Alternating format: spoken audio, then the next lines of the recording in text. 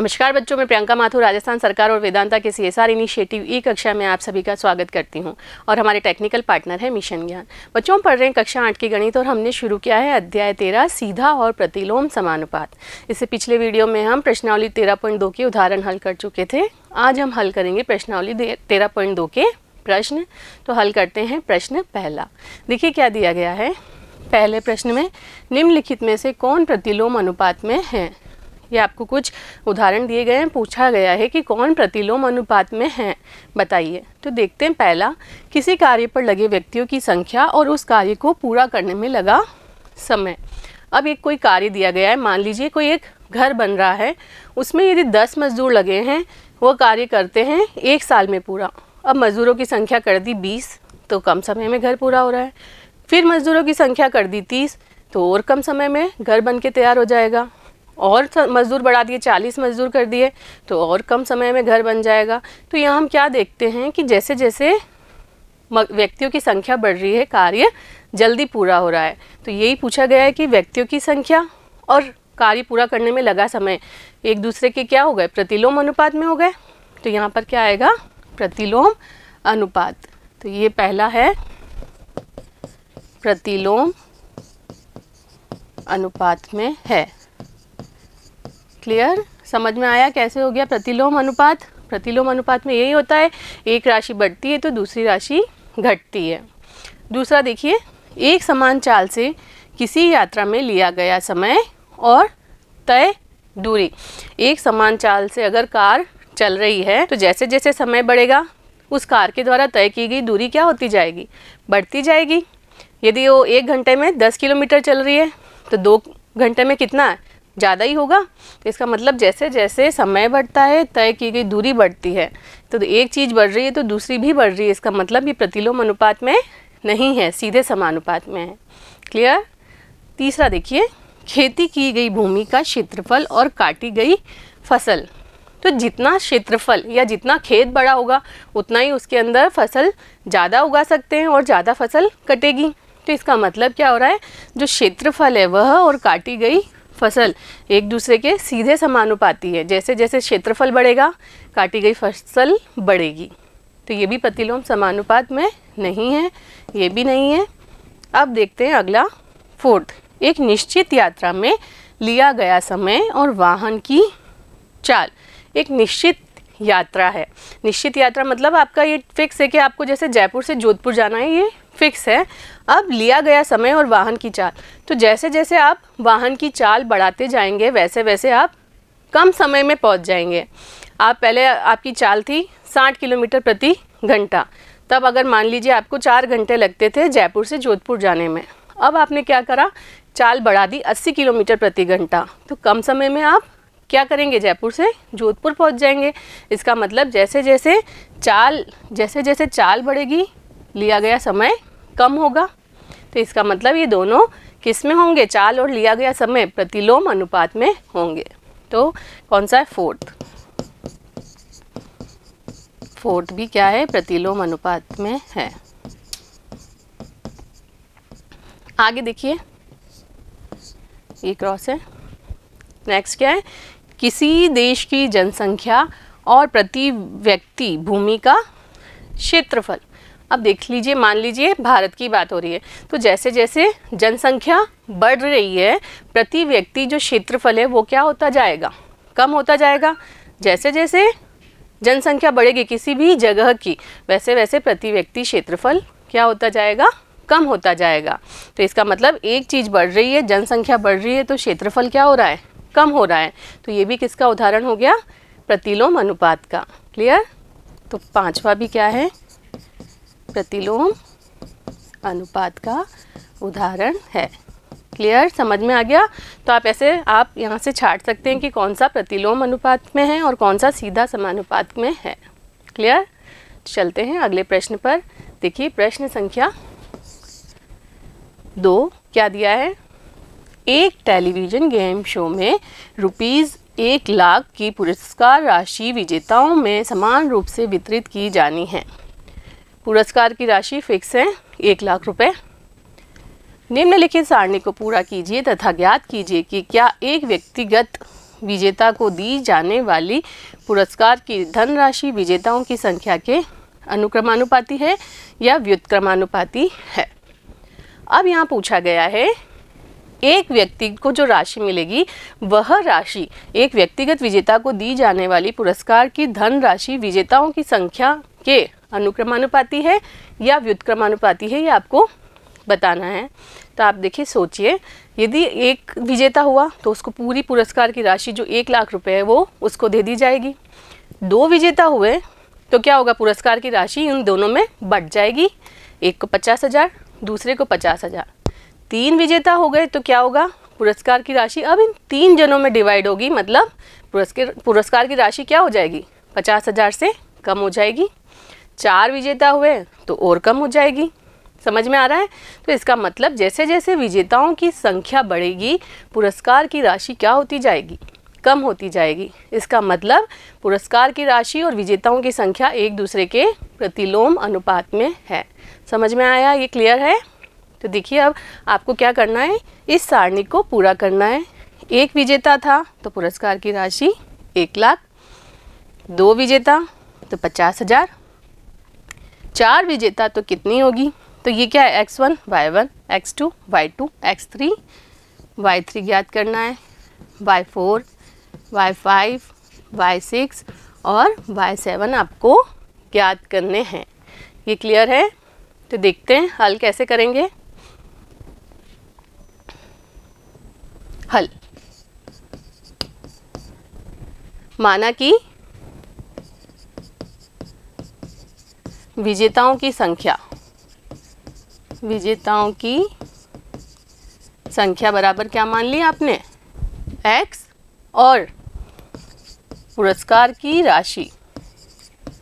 पुरस्कार की राशि को आपने क्या मान लिया? Y मान लिया। तब प्रश्नानुसार क्या हो जाएगा? तब प्रश्नानुसार। ये x और y में बन जाएगी टेबल x विजेताओं की संख्या x मानिए, एक थी तो पुरस्कार की राशि एक लाख. क्लियर विजेताओं की संख्या दो ही तो पुरस्कार पचास पचास हज़ार का हो गया. चार हुई, तब आपको पूछा है. ये क्या हो गया? वाई थ्री पूछा गया आपसे. पाँच, अब और क्या पूछा है? चार के बाद पाँच, आठ, दस, बीस. पाँच, आठ, दस और बीस विजेता हुए। तो पुरस्कार की राशि कितनी होगी आपसे पूछा गया है। क्लियर है ये? टेबल। तो इसको हल करने के लिए आप क्या लिखेंगे? चूँकि एक्स व वाई अभी हमने समझा कि एक्स व वाई प्रतिलोम अनुपात में है। एक्स व वाई प्रतिलोम अनुपात में हैं। अतः क्या हो जाएगा? हमने पढ़ा है, प्रतिलोम अनुपात में यदि x व y है तो क्या होता है? x गुणा वाई बराबर अचर होता है। तो क्या लिख सकते हैं? अतः x1 वन वाई वन बराबर एक्स टू वाई टू बराबर एक्स थ्री वाई थ्री बराबर एक्स फोर वाई फोर यही होगा। तो आप क्या लिख सकते हैं? अतः एक्स वन वाई वन बराबर एक्स थ्री वाई थ्री होगा। अब मान रख दीजिए एक्स वन का मान कितना है? एक वाई वन का मान एक लाख, बराबर एक्स थ्री का मान कितना है चार वाई थ्री पूछा गया है। तो यहाँ से वाई थ्री कितना आ जाएगा देखिए, चार गुणे में तो भाग में चला जाएगा पक्षांतरण होने पर। तो एक लाख बटा चार आ गया, चार से काटेंगे, चार दूनी आठ, दो बज गए, ये ज़ीरो हो गया, दो ज़ीरो, बीस, चार पंजे बीस, और ये पीछे तीन ज़ीरो मतलब पच्चीस हज़ार रुपये यदि चार विजेता हैं तो प्रत्येक को कितना मिलेगा? पच्चीस हज़ार रुपये क्लियर इसी का दूसरा पार्ट ये तो पहला हो गया। दूसरे के लिए क्या करेंगे? एक्स वन वाई वन बराबर। क्या लेके चलेंगे? X four y four x four y four clear है? तो यहाँ से देखिए, मान रखते हैं, एक गुणा एक लाख बराबर। एक्स फोर की जगह है पाँच, गुणा वाई फोर पूछा गया है। यहाँ से वाई फोर कितना आ जाएगा? वाई फोर बराबर एक लाख बटा क्या आ जाएगा? पाँच गुणे में था, ये आ गया बटे में। पाँच दूनी दस, ये हो गया पाँच दूनी दस, और पीछे कितने ज़ीरो है? चार तो ये हो गया बीस हज़ार रुपये यहाँ पर क्या आ गया? जब पाँच विजेता है तो राशि और कम हो गई, पच्चीस से किस पे आ गए, बीस हज़ार रुपये पर। क्लियर अब आपसे पूछा है कि आठ विजेता होंगे, तब राशि क्या होगी? तो आगे हल करते हैं, देखिए। थर्ड थर्ड करने के लिए क्या करेंगे आप? एक्स वन वाई वन बराबर x five y five x five y five तो एक्स वन का मान वन वाई वन का मान एक लाख। एक्स फाइव क्या दिया गया है? आठ। तो आठ गुणा वाई फाइव वाई फाइव निकालना है आपको। तो आठ गुणे में है, उसको पक्षांतरण कर देंगे। तो एक लाख के भाग में क्या आ जाएगा? आठ काटते हैं, आठ एकम, आठ, दो बचे, ये हो गया बीस तो आठ दूनी हो गया सोलह, बचे चार, ये हो गया चार ज़ीरो मतलब चालीस, आठ गुणा पाँच, चालीस होता है, और पीछे दो ज़ीरो। तो कितने आ गए? बारह हज़ार पाँच सौ रुपये आठ विजेता होंगे तो प्रत्येक को कितना है? मिलेगी धनराशि बारह हज़ार पाँच सौ रुपये क्लियर तो इसका अगला पार्ट क्या पूछा गया आपसे? दस विजेता होने पर पुरस्कार की राशि पूछी है तो देखिए fourth x one y one बराबर एक्स सिक्स वाई सिक्स हो जाएगा। मान रख देते हैं, ये तो वही है, एक और एक लाख। एक्स सिक्स दस और वाई सिक्स पूछा गया है। यहाँ से वाई सिक्स निकालेंगे।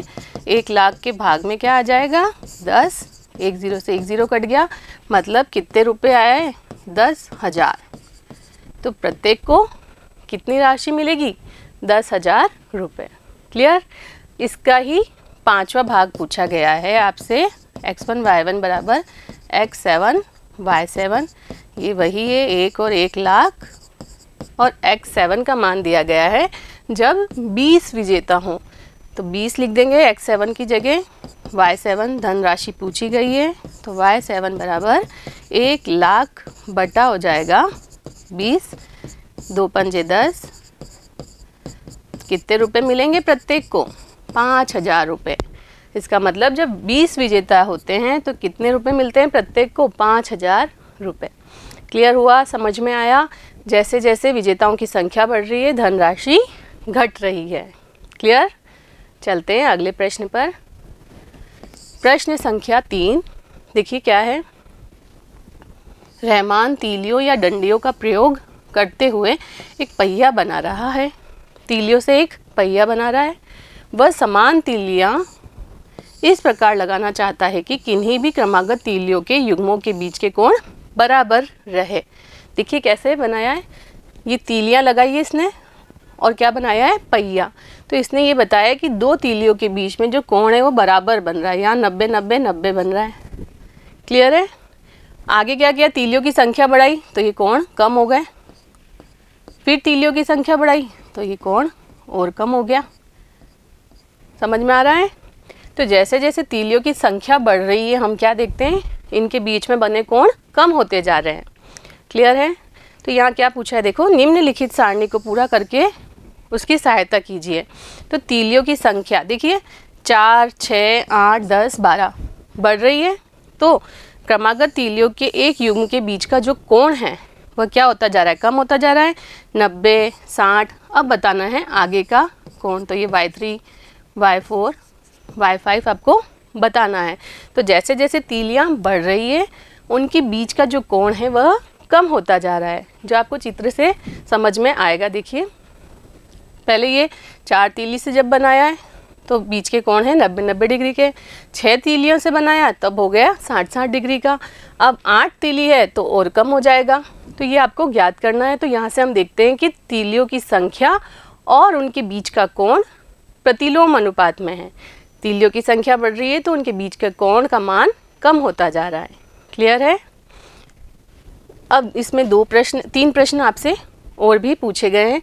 तो पहले हम इस सारणी को पूरा करते हैं। वाई थ्री वाई फोर और वाई फाइव का मान निकालते हैं। देखिए इसका हल। हल। माना कि तीलियों की संख्या, तीलियों की संख्या बराबर आपने मान ली x और उनके मध्य कोण और उनके मध्य कोण? बराबर, आपने मान लिया।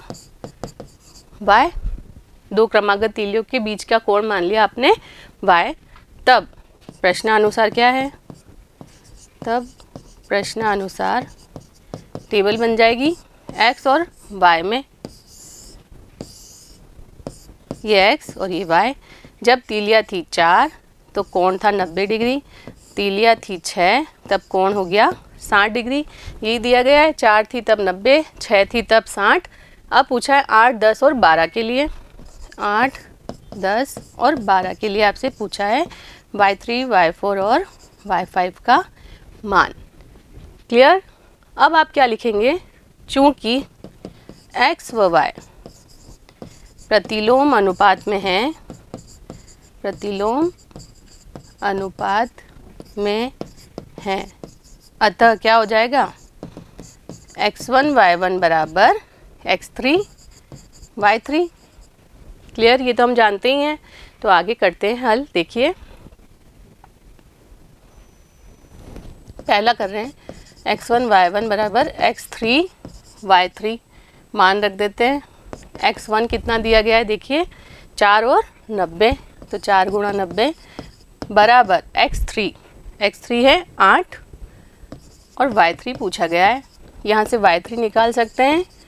ये चार गुणा नब्बे के बटे में क्या आ जाएगा? जो आठ गुणे में था, वह भाग में आ गया। क्लियर देखिए, चार एकम चार चार दूनी आठ, दो से नब्बे काटा तो पैंतालीस। इसका मतलब वाई थ्री कितना हो गया? पैंतालीस डिग्री। इसका मतलब आठ तीलियाँ होने पर दो क्रमागत तीलियों के बीच का जो कोण है, वो कितना आ जाएगा? पैंतालीस डिग्री का। क्लियर अब पूछा है, यदि तीलियों की संख्या दस कर दी जाए तो देखिए, दूसरा एक्स वन वाई वन बराबर एक्स फोर वाई फोर ये तो वही है, चार और नब्बे, और ये हो गया है दस तीलियाँ, और वाई फोर पूछा गया है आपसे तो वाई फोर कितना हो जाएगा, चार गुणा नब्बे के भाग में आ जाएगा ये वाला दस, एक ज़ीरो से एक ज़ीरो, नौ चौक छत्तीस, इसका मतलब कितने डिग्री का कोण हो जाएगा? दो क्रमागत तीलियों के बीच 36 डिग्री का, जबकि तीलियों की संख्या कितनी है? 10 इसी का third part x one y one बराबर एक्स फाइव वाई फाइव मान रखते हैं, ये तो वही है, चार और नब्बे। एक्स फाइव का मान कितना है? देखिए, बारह। बारह तीलियाँ हैं। वाई फाइव पूछा गया है। तो वाई फाइव यहाँ से कितना हो जाएगा? चार गुणा नब्बे, बारह आ गया। भाग में। चार से कट रहा है। चार एकम चार चार तिया बारह, तीन तिया नौ और ज़ीरो मतलब तीस डिग्री। बारह तीलियाँ लेंगे तो प्रत्येक दो क्रमागत तीलियों के बीच में कितने डिग्री का कोण बनेगा? तीस डिग्री का। क्लियर है? समझ में आया? अब देखिए क्या क्या प्रश्न पूछे गए हैं। पहला, क्या तीलियों की संख्या और क्रमागत तीलियों के किसी युग्म के बीच का कोण प्रतिलोम अनुपात में है? तो पहले में यहाँ लिखेंगे। हाँ तीलियों की संख्या, तीलियों की संख्या व मध्य का कोण प्रतिलोम अनुपात में है। क्लियर दूसरा प्रश्न क्या दिया गया? देखिए, पंद्रह तीलियों वाले एक पहिए के क्रमागत तीलियों के किसी युग्म का कोण परिकलित कीजिए। पंद्रह तीलियाँ मतलब x का मान आपको दिया गया है पंद्रह। देखिए, हल। दूसरा। पूछा गया जो प्रश्न है, उसमें दूसरा क्या दिया गया है? X का मान। X बराबर दिया है पंद्रह। तो y का मान आपको पूछा गया है। तो क्या लिख देंगे? हल। चूँकि x व y प्रतिलोम अनुपात में हैं, अतः क्या हो जाएगा? एक्स वन वाई वन बराबर एक्स वाई ये कोई भी एक्स वाई दिए गए हैं। तो देख लीजिए एक्स वन वाई वन का मान तो ये क्या है? चार तीली, नब्बे डिग्री का कौन यही पूछा, यही था। एक्स वन वाई वन का मान चार और नब्बे बराबर एक्स एक्स का मान है अब पंद्रह तीलियाँ। तो वाई उनके बीच का कोण पूछा है। यहाँ से वाई कितना आ जाएगा? चार गुणा नब्बे के बटे में आ जाएगा पंद्रह। पंद्रह छंग नब्बे। तो छः चौक चौबीस। इसका मतलब दो तीलियों के बीच का कोण कितना हो जाएगा? चौबीस डिग्री। क्लियर अब देखिए, तीसरा प्रश्न। यदि क्रमागत तीलियों के प्रत्येक युग्म के बीच का कोण 40 डिग्री है तो आवश्यक तीलियों की संख्या कितनी होगी? बीच का कोण दिया गया है मतलब y दिया गया है, आपको 40 डिग्री तब x पूछा है। तो देखिए इसका तीसरा भाग। y बराबर 40 डिग्री। तब तीलियों की संख्या कितनी होगी? तो क्या लिख देंगे हल में? चूँकि x1 वन वाई वन बराबर क्या है? एक्स वाई ये तो हमने बता दिया, प्रतिलोम अनुपात में है। तब क्या हो जाएगा? चार गुणा नब्बे बराबर x पूछा है, y बराबर चालीस। तो यहाँ से x कितना हो जाएगा? चार गुणा नब्बे के बटे में आ जाएगा चालीस। एक ज़ीरो से एक ज़ीरो, चार से चार मतलब नौ तीली। नौ तीलियाँ। इसका मतलब नौ तीलियाँ होगी, तब उनके बीच में कितने डिग्री का कोण होगा? चालीस डिग्री का कोण होगा। क्लियर हुआ? प्रश्न अच्छे से समझ में आया? चलते हैं अगले प्रश्न पर। प्रश्न संख्या चार। देखिए क्या दिया गया है। यदि किसी डिब्बे की मिठाइयों को, मिठाई को चौबीस बच्चों में बांटा जाए तो प्रत्येक बच्चे को पाँच मिठाइयाँ मिलती है। कोई मिठाई का डिब्बा है जिसमें, यदि चौबीस बच्चों को बांटे तो प्रत्येक बच्चे को पाँच मिठाई मिल रही है। यदि बच्चों की संख्या में चार की कमी हो जाए, पहले चौबीस बच्चे थे, अब चार की कमी हो गए मतलब बीस बच्चे हो गए तो प्रत्येक बच्चे को कितनी मिठाइयाँ मिलेंगी? अब यहाँ ये आपको समझना है कि पहले चौबीस बच्चे थे तो हर एक बच्चे को पाँच मिठाई मिल रही थी। अब आपने क्या किया? बच्चों को कम कर दिया, बीस बच्चे कर दिए तो प्रत्येक बच्चे को मिठाइयों की जो संख्या थी, वह मिलने वाली मिठाई की संख्या क्या होगी? बढ़ेगी या घटेगी? बढ़ेगी। पहले आपके पास ये अगर मान लीजिए कोई डब्बा है, जिसमें छः मिठाई हैं, दो जने में बांटनी है तो क्या क्या हो जाएगी? एक को तीन और दूसरे को भी तीन। अब आपको बांटनी है, यदि एक आदमी को तो पूरी छः इसी को मिल जाएगी। तो इसका मतलब क्या हो रहा है? विद्या, बच्चों की संख्या यदि कम हो रही है तो मिलने वाली मिठाई की संख्या क्या हो जाएगी? बढ़ जाएगी। इसका मतलब बच्चों की संख्या और मिठाई की संख्या एक दूसरे के प्रतिलोम अनुपात में है। ये क्लियर हो गया? तो करते हैं आगे हल। देखिए। हल। माना कि बच्चों की संख्या, बच्चों की संख्या को हमने मान लिया है x और प्रत्येक बच्चे को एवं प्रत्येक बच्चे को मिलने वाली मिलने वाली मिठाई की संख्या। मिठाई की संख्या को हमने क्या मान लिया? बाय। यहाँ तक क्लियर है? तब प्रश्नानुसार क्या हो जाएगा? टेबल क्या बनेगी? तब प्रश्नानुसार। देखिए टेबल बन जाएगी एक्स और वाई में। ये एक्स और ये वाई एक्स क्या माना है? बच्चों की संख्या। तो बच्चों की संख्या जब चौबीस थी तो मिठाइयाँ कितनी मिल रही थी प्रत्येक बच्चे को? पाँच। अब बच्चों की संख्या हो गई बीस। तो प्रत्येक बच्चे को कितनी मिठाई मिलेगी? वाई टू मान लिया। ये हो गया एक्स वन वाई वन ये हो गया एक्स टू वाई टू अब यहाँ क्या लिखेंगे? चूँकि एक्स व वाई प्रतिलोम अनुपात में हैं। ये आपको वहाँ सोचना होगा कि एक्स व वाई प्रतिलोम अनुपात में है या सीधे अनु, सीधे समानुपात में है। क्लियर यहाँ तो हमें पता है कि प्रश्नावली तेरह पॉइंट दो के प्रश्न है, इसलिए ये प्रतिलोम अनुपात के प्रश्न है। परंतु एग्ज़ाम में आपको ये नहीं है पता होगा कि कौन से प्रश्नावली से लिए गए हैं, इसलिए आपको ये समझना होगा कि ये कौन से अनुपात में है, सीधे समानुपात में है या प्रतिलोम अनुपात में है। क्लियर तो आप देखते हैं आगे। अतः एक्स वन वाई वन बराबर एक्स टू वाई टू देखिए एक्स वन चौबीस वाई वन पाँच एक्स टू बीस वाई टू पूछा गया है। तो यहाँ से वाई टू कितना हो जाएगा? चौबीस गुणे पाँच के भाग में आ जाएगा ये जो बीस गुणे में है। काटते हैं। पाँच एकम पाँच पाँच चौक बीस, चार से छः चौक चौबीस। तो वाई टू बराबर कितना आ जाएगा?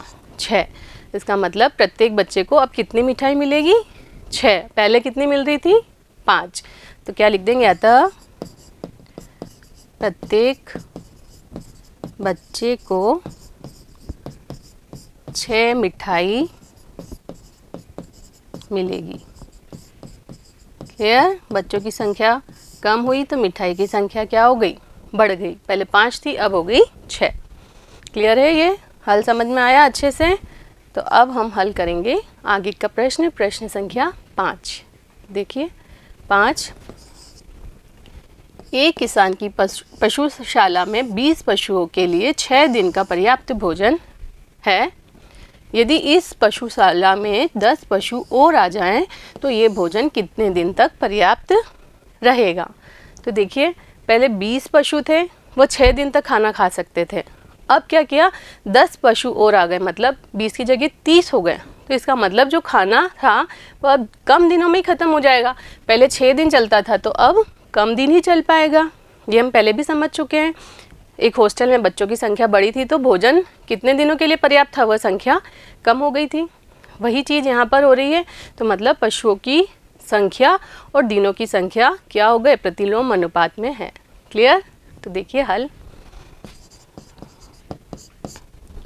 एक तो पशुओं की संख्या मान लेंगे। माना कि, पशुओं की संख्या, बराबर? X मान लिया। और क्या मान लेंगे? भोजन के लिए पर्याप्त दिनों की संख्या। भोजन के लिए पर्याप्त दिनों की संख्या बराबर मान लिया हमने। Y? तब प्रश्नानुसार टेबल बनेगी। तब प्रश्नानुसार क्या हो जाएगी? यहाँ लिख दीजिए एवं। एक्स और वाई में एक टेबल बन जाएगी। पहले कितने पशु थे? बीस। तब भोजन कितने दिन चल रहा था? छः दिन। अब पशु, दस पशु और आ गए मतलब तीस। तीस पशु हो गए। तो भोजन कितने दिन चलेगा वो आपसे पूछा गया है मतलब वाई टू पूछा गया है। क्लियर अब हम यहाँ क्या देखते हैं कि एक्स व वाई प्रतिलोम अनुपात में है। तो क्या लिख देंगे? चूँकि एक्स व वाई प्रतिलोम अनुपात में हैं। अतः क्या हो जाएगा? एक्स वन वाई वन बराबर एक्स टू वाई टू हो जाएगा। हम जानते ही हैं ये। तो देखिए एक्स वन वाई वन के मान रखते हैं। बीस गुणा छः बराबर एक्स टू तीस और वाई टू आपसे पूछा गया है। तो वाई टू यहाँ से कितना हो जाएगा? बीस गुणा छः के भाग में क्या आ जाएगा? ये गुणे वाला तीस। ये कट गया। तो ये देखिए, दो, तीन एकम तीन तीन दूनी छः तो वाई टू बराबर कितना आ गया? दो दूनी चार। मतलब जो भोजन सामग्री छः दिन चल रही थी, वह अब सिर्फ़ कितने दिन चलेगी? चार दिन। चार दिन के भीतर ही वह ख़त्म हो जाएगी। क्लियर समझ में आया प्रश्न? पांचवा तो उम्मीद करती हूँ ये सभी प्रश्न आपको अच्छे से समझ में आए होंगे। अगले वीडियो में मिलते हैं आगे के प्रश्नों के साथ। तब तक जुड़े रहिए। धन्यवाद।